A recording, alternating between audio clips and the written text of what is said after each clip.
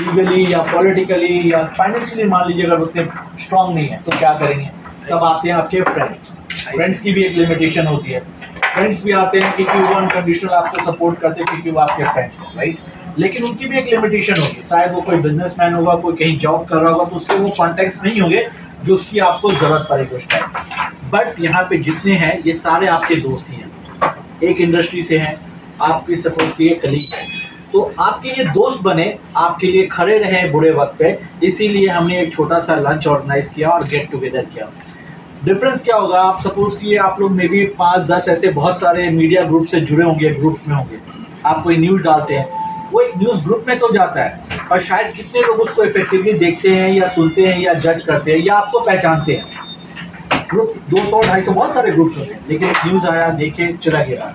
लेकिन कभी आपको कोई प्रॉब्लम होगा और उस ग्रुप में डालेंगे तो वो क्यों आपके लिए आएँगे? वो तो वो आपके मीडिया फ्रेंड ही है, लेकिन आपको लगता है वो आएँगे? नहीं आएँगे। क्यों उनको लगेगा शायद उनके और कोई फ्रेंड एक्शन लेंगे? क्योंकि वो आपके फ्रेंड्स नहीं हैं। उनके साथ आपकी कोई बॉन्डिंग नहीं है। मीडिया ग्रुप में ज़रूर है ग्रुप मेंबर ज़रूर है, पर आप उनके फ्रेंड नहीं है जो आप उनके लिए अनकंडीशनल सपोर्ट के लिए खड़े रहें तो ये जो अनकंडीशनल सपोर्ट हो एक दूसरे के लिए, वो फ्रेंडशिप बने, इसीलिए आज हमने ये गेट टुगेदर करने का एक छोटा सा कोशिश किया।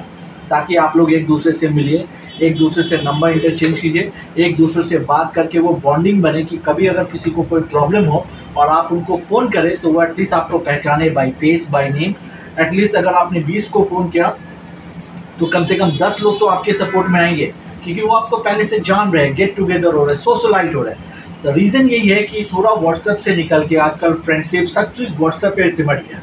फ़िज़िकल मिलना भी बहुत ज़रूरी होता है, ताकि इंट्रैक्शन बढ़े बॉन्डिंग बढ़े, ताकि मीन किसी, हम लोग इंश्योरेंस क्यों करते हैं? सबको पता है कि एक दिन मरना इंश्योरेंस का पैसा किसी को नहीं मिलता। वो उनके फैमिली मेंबर या उनको रिलेटिव को मिलता है बैड टाइम तो समझ लीजिए कि ये जो थोड़ा सा टाइम आप दे रहे हैं, ये आपके टाइम के लिए समझिए एक टाइप ऑफ़ आप इंश्योरेंस करें अपने लिए। तो जब बैड टाइम आएगा तो ये सारे हेल्पिंग हैंड आपके लिए खड़े होंगे।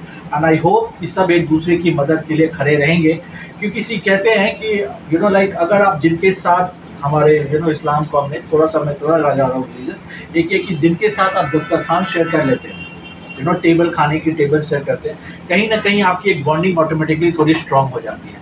तो जब हम लोग एक टेबल पे सब बैठ कर खाना स्टार्ट कर रहे हैं तो कहीं ना कहीं वो नॉर्मल स्ट्रेंजर बॉन्डिंग से थोड़ा फ्रेंडशिप ग्राउंड पे हम लोग जाएँगे। जुड़ेंगे। एक दूसरे को सपोर्ट करने के लिए आई थिंक ये बेसिक स्टार्ट है कि we are sharing the table once we share the table we will start sharing the thoughts and once we start sharing the thought we will share our pain we will share our happiness as well this is our small initiative तो this is a small initiative which we are taking for everyone and I want कि मेरी कोशिश है not mandatory कि आप सब लोग but ये कोशिश है, मेरी रिक्वेस्ट है कि सब लोग दो दो मिनट आएँ, यहाँ पे खड़े रहें, अपना एक इंट्रोडक्शन दें, और एक दूसरों को बिना डिस कर रहा था जब यहाँ पे सब आए, सब अपने अपने ग्रुप में थे।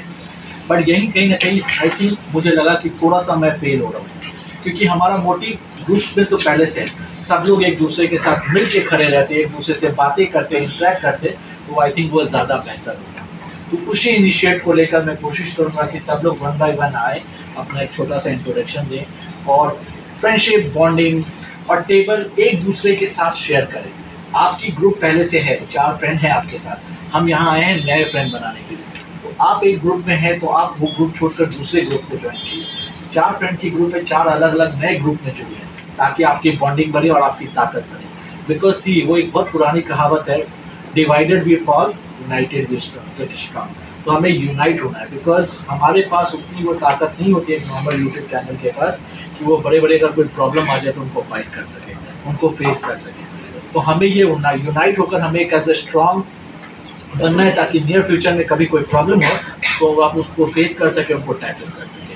बिकॉज़ क्या होता है सी जितना बड़ा आपका नेटवर्क बनेगा, उतने आपके सपोर्टिंग हैंड बनेंगे। माइट भी सपोज़ करें कभी कभी आप कोई लीगल सर्कमस्टांसेस में आप पड़ गए हो सकता है आपके पास वैसी कोई लीगल सपोर्ट नहीं और मे बी आपके कोई फ्रेंड होंगे, कोई कलीग होंगे, या किसी आपको वो कांटेक्ट मिल जाए, जिससे आपको थोड़ा यू नो लीगल हेल्प हो जाए, कोई अच्छे लॉयर्स बिकॉज़ सी आप कोई ऐसा नहीं कह सकता यू नो बिकॉज़ वी तो अगर जब हमें ये पता है कि कभी नियर फ्यूचर में कभी ना कभी ऐसा चीज़ हो सकता है तो एटलीस्ट हमें थोड़ा बहुत उसकी प्रिपरेशन करके रहनी चाहिए, ताकि अगर कभी वैसा प्रॉब्लम आए तो हम उसको अच्छे तरीके से और बहुत ऑर्गेनाइज वे में उसको फेस करके उस प्रॉब्लम को सॉल्व कर सकें। उस प्रॉब्लम को समझ